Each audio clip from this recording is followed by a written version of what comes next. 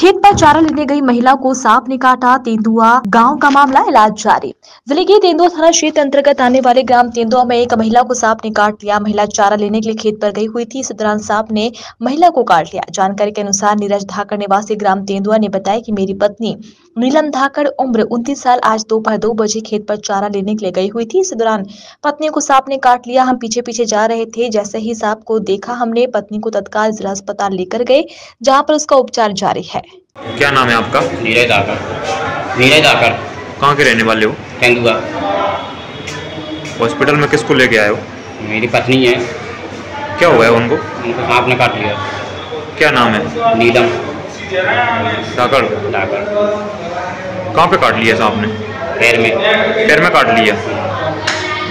कहाँ पे कौन सी जगह कहाँ गए थे ये? खेत पर गए थे। क्यों? यहाँ पे दूरों के लिए चारा हमारा लेने के लिए और थोड़ा टमाटर टमाटर में घूमने के लिए खेती पे। और साथ में नहीं था कोई इनके? थे साथ में हम पीछे पीछे आ रहे थे ये आगे थी। फिर लिए फिर आपको कैसे पता चला?